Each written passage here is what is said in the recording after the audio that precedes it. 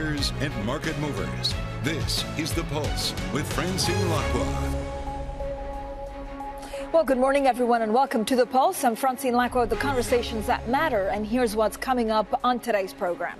European stocks lower, and Japan's 10 year yield jumps the most in a year. With increasing bets, the BOJ will scrap the world's last negative interest rate regime as soon as this month. The latest German industrial output data adds to evidence that Europe's largest economy is on track for a recession, with production in October shrinking unexpectedly. And later this hour on Bloomberg UK, we also take a look at the British government's green record as negotiations continue at COP28 in Dubai. So let's take a look at the European markets map. A lot going on actually in today's trading session. A lot of the focus, of course, is on Japan soon scrapping the last negative interest rate regime. What that means, it probably uh, means that we'll have repercussions across the board. Now, if you look at global markets, they're definitely moving in response to that. You can see European stocks actually opening a little bit lower. I'm also looking at the yield on the 10 year uh, Treasury, which is always significant. It added some seven basis points, the dollar falling for the first time in four days. So it's all about the Bank of Japan's December policy meeting, and traders now see it as a live event after comments from Governor Ueda and his deputy Ryozo Himino. Now, joining us for more on the markets is Maya Bhandari, global head of multi assets at BNP Paribas Asset Management. Maya, so great to see you. Thank you so much for coming on. Japan kind of changes everything. If, if they actually go ahead and, and loosen, what are you expecting from them? Um, so, uh, well, as, as, you know, we've had a, a, a, pretty long duration bias. I think the last time I was here, I was talking about how long duration was our, our highest conviction trade. Uh, and I think Japan sort of sits aside uh, from that. And actually, just yesterday, uh, uh we have gone uh, short uh, JGBs because I think Japan is in a different place to the rest of the world. So I'm not sure that it changes that, that global narrative. I mean, I think we, we reckon Japan is, is, is, positioning itself to start hiking interest rates early next year, just as other G10 central banks are, are, are going to ease. I, I, think Japan wants inflation to, to, be a little bit higher. they've effectively abandoned uh, Uh, uh, yield curve control. So I think from an investor's perspective, uh, the risk of, uh, of the Bank of Japan uh, really squeezing squeezing you out seems a little bit less.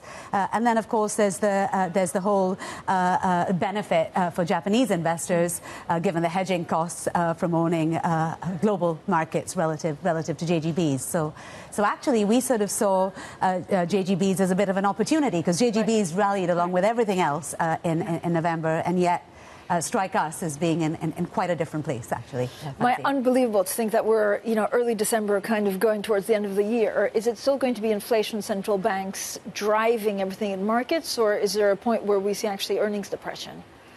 Oh, that's, a, that, that's a great question because I think duration uh, and, and ex expectations around interest rates have been the driver mm -hmm. uh, uh, for markets. Now, uh, for us, going into 2024, uh, although we have clipped back some of our long duration with that short JGB trade I, I, I just described, uh, we remain long, long, long duration. That is a high conviction view, particularly in US real yields at the longer end, EM local, European investment grade. So we, we do think that carries on.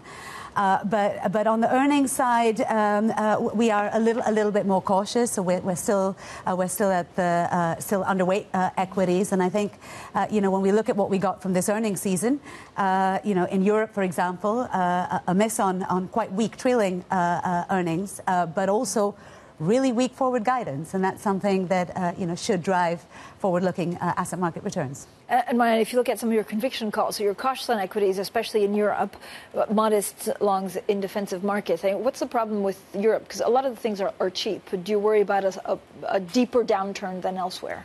Yeah, I mean, you're right. Things are cheap. Uh, but when we look at the expected level of earnings uh, for, the consensus, for example, we're still in uh, sort of, you know, single digits, mid to high single digits. Now, the European macro setup, as I think you reflected earlier on, is, pretty weak. And um, European companies are highly levered to that, given the, operational leverage of these companies. And so earnings, to our mind, could easily fall by the amount that they're currently projected to rise by. So hence Europe is an area of some caution for us. Uh, against that, we sort of have, uh, we, we, like, uh, um, uh, modestly like, I should say, because they're very, very small positions, but uh, we favor defensive growth uh, in, in the US.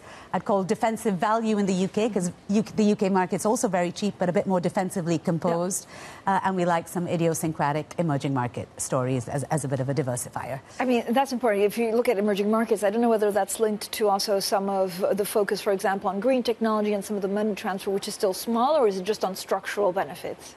Uh, well, I think again it depends which emerging market, uh, which emerging market uh, we're, we're, looking at. I mean, I think one of the markets that we quite like, for example, uh, is, is, Brazil, uh, and I think in Brazil you could point to cyclical support uh, from a macro perspective, but you'd also say, well, look look at how far earnings expectations are rising. Look at the earnings revision ratios, and then look at how cheap Brazilian equities are relative to global equities. so that's how we would we would think about some of some of those markets. Um, and Maya, is there anything else in the emerging markets? Again, how do you play? It? Is it equities, currencies, or, or bonds? Um, so we like EM local bonds as part of that that broad uh, that broad uh, favor uh, favorable disposition uh, mm-hmm. towards duration. These are positions we were building yeah. up as we had a yeah. quite a savage sell-off uh, just not, not so long ago. Uh, so we like EM EM local bonds. We're, we're, neutral on emerging market equities overall, but, but as I said, have a have a have a, a modest bias towards some of the some some some of the Latin markets like like Brazil. Mm-hmm. we did like China earlier in the year uh, but, but uh, um, we've, we've stepped away uh, and, and, stick at neutral because there, again, we see a lot of value, uh, but uh, uh, the, the, trigger to unlocking that value um, is, is, is, less clear to us. It's been interesting to see how, how little, in, in some ways, equities have responded to, to some stimulus announcements coming out of out of the yeah. Chinese that in the past you would have had uh, perhaps a bit more uh, uh, of a response. Maya, what do you do with China right now? Uh, in terms of investments or companies that actually have exposure to China? Um, so China, as I say, uh, we are we're, neutral overall. Uh, um, uh, we, we, like Brazil that benefits from uh, from China, but has its own uh, domestic story uh, going as well. and of course, EM local, which is which is a play on rates rather than rather than equities, and where where China has a le- less. No. Uh, less um, significant uh, impact, if you will, right? So China is a third or so of equity indices 10% of, of EM local. And finally, Maya, what do you do with the UK? So again, we're, we're seeing an election probably in the next, well, we don't know, but certainly by the time that January 2025 comes along. Yeah. And so there's a lot of political factioning. What does it mean for assets and stock markets? Um, so uh, on, on, the UK, uh, we uh, we actually liked gilts uh, relative relative to, to some of the European markets uh, like like bunds, and uh, as we had a really really quite powerful move in, in, in, those spreads, we've taken profits on that, so we've stepped away from being long of gilts. Uh, but as I said, you know, we, we quite like UK equity markets uh, within uh, within a cautious view on equities overall, because you know UK markets are number one very attractively valued. Uh, number two, offer you uh, a bit of a bit of defensiveness, both from a sector composition, but also from the from the yield you get on some of these uh, UK companies, uh, and uh, and policy, particularly on, on the monetary side, that discount rate picture, we think could be could be quite positive for, for, for UK for UK risk assets. Maya, thank you so much. As always, Maya Bhandari, they're global head of multi assets at BNP Paribas Asset Management. Coming up, China's President Xi Jinping calls for more cooperation with the EU. What does this mean for the bloc's relationship? Relationship with Beijing. More on that next, and this is Bloomberg.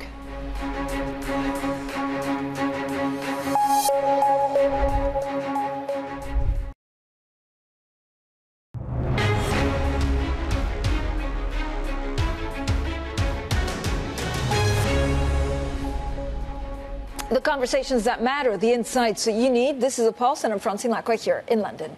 Now, the Chinese President Xi Jinping has told European Union leaders that the two sides should step up cooperation. Well, Xi met with the uh, Commission President Ursula von der Leyen and the Council President Charles Michel in the Chinese capital earlier today. Now, let's bring in Bloomberg's Alan Wan. Alan, good morning, good afternoon for you. What are the major disagreements between China and the EU, and are they different from China and U.S.? Well, you know, actually, there are a lot of the disagreements are similar to the U.S. Uh, you've got, uh, you know, the trade, of course. You got human rights. You got the war in Ukraine. Uh, but there's one major uh, one disagreement uh, that, that, differs, and that's uh, the fact that with the U.S. there's a major defense and military component to their tense relations that you don't necessarily see in, in Europe. Um, so the biggest bugaboo for the EU is, is, is actually it's a trade deficit with China. It's 400 billion dollars right now. Well, last year anyway, um, it's huge, and it's so big that uh, von der Leyen said that it says that it's unsustainable. And, and that's really one of the reasons why the EU launched a probe into uh, Chinese EVs for possible subsidies. Um, trade is so is such a hot political issue, and it's probably one of the reasons why Italy said that it's pulling out of the Belt and Road, mm-hmm. uh, just because its trade deficit with, with China has ballooned uh, since it signed the uh, uh its, its, its, pact with uh, China on the Belt and Road. Um, so, so mm-hmm. that's probably like the biggest bugaboo. But then you got other issues like Ukraine. Uh, of course, uh, EU is going to ask China to sort of prevent Russia from circumventing sanctions. And EU also wants China to do more, some more, have some more tangible, tangible progress in terms of uh, providing more market access to, to EU firms. Uh, the EU Chamber of Commerce uh, president in China said today, which I agree with, that one way they could do that is by allowing European firms to, uh, to be able to bid for massive public procurement projects in China. So, what does this mean for the EU China relationship going forwards? And frankly, we saw actually Italy get out of the Belt and Road, and that felt very significant. Yeah, I, I mean, it is. But you know something? Uh, China uh, went around and said that, uh, okay, well, Italy wants to pull out, but we're, we're still willing to work with Europe. Uh, Europe has a, as a sort of like its own Belt and Road called Golden Gateway Project. And China says that it's willing to work with EU on this, on, on this, on, uh, on this, on, uh, on sort of infrastructure around the world uh, except in strategic areas. And, but overall, the relationship is going to remain bumpy, mainly because of trade. Um, China has said that it considers the EU probe into Chinese EV, EV subsidies as no, no more than trade protectionism. And it's one issue that China mm-hmm. is not going to willing to forego just because subsidies, you know, are a major plank of China's economic uh, development strategy. Um, that said, I, I, think that there are some positives as well. In the last few weeks, we've seen China uh, allowing um, uh, citizens from several European nations visa-free travel, and that's going to be able to boost, uh, mm-hmm. you know, exchanges between people, especially after a lot of European expats left during the lockdowns. But all in all, I have to agree with the EU Chamber of, of Commerce president in China, saying that uh, deep issues stand in the way of a good mm-hmm. EU-China relations. Thank you so much, uh, Bloomberg's Alan Wang, there with the very latest on the EU and China. Now, oil was also on the agenda during Vladimir Putin's trip to Saudi and the UAE, pretty much as expected. Now, it's Russian president's first time visiting the energy rich region since his invasion of Ukraine almost two years ago. Well, Bloomberg's Dana Khraiche joins us with the latest. So, Dana, what do the UAE and Saudi Arabia actually stand to gain from hosting Putin? And what does Putin's visit signify in political terms? Hi. So Putin stands to gain a lot from this, right? He is sending a message um, that he is not as isolated as the West and its allies want him to be, that he's very still very relevant, and he will um, get the uh, massive ceremonies and the receptions like we saw in the UAE and Saudi Arabia as well. And there was a significant quote from uh, Crown Prince Mohammed bin Salman uh, of Saudi Arabia during his meeting with uh, Putin, and he said described him as, open quote, a special and a highly esteemed guest in the kingdom, both by the government and its people. And that shows um, the importance of maintaining this relationship uh, between Saudi Arabia and uh, Russia. Um, for Saudi Arabia and the UAE, it's part of their diplomatic push. They want to raise their profile globally. Um, they want to increase their soft power and become more influential um, in regional and um, global politics. And so this is them also saying, look, we can host Putin, we can host, like Saudi Arabia hosted Zelensky uh, a few months ago, also uh, uh, in, in, in, Jeddah, actually, not in Riyadh. Um, and so this is part of Saudi Arabia's trying to bolster its image uh, on the global stage. And the UAE hosts um, a big number of a lot of uh, Russian companies and Russian nationals who found um, Dubai to be a safe place for them to be. So that is also significant for Putin to be uh, in the UAE. So, what did the visit actually achieve? What did Putin's visit to Saudi Arabia achieve? Um, what, you know, whether coincidentally or not, the visit's timing comes after the OPEC Plus alliance said that they would extend and deepen their oil production cuts to bolster oil prices. So Putin and uh, Crown Prince Mohammed bin Salman, they both discussed uh, energy cooperation, and they need to show a united front. They want to show close coordination. They are key members of the OPEC Plus alliance and the drivers of it, and they both need mm-hmm. oil prices to be up. Um, for Putin, it funds his uh, war in Ukraine, and for Saudi Arabia, it is funding and needs that liquidity to fund its massive economic transformation program. So for both, it's a big risk if oil prices fall down. So what they're trying to do is keep it up and, and that image of a united front, they're hoping, um, and close coordination, they're hoping that that would um, give the market kind of a, a, sign that they would probably take a further step uh, to do so. Dana, thanks so much. Dana Khraiche there with the very latest on Putin in Saudi and the UAE. Now, coming up, we have some lines from the U.S. Senate hearing, which is featuring chief executives from America's biggest banks. That's next, and this is Bloomberg.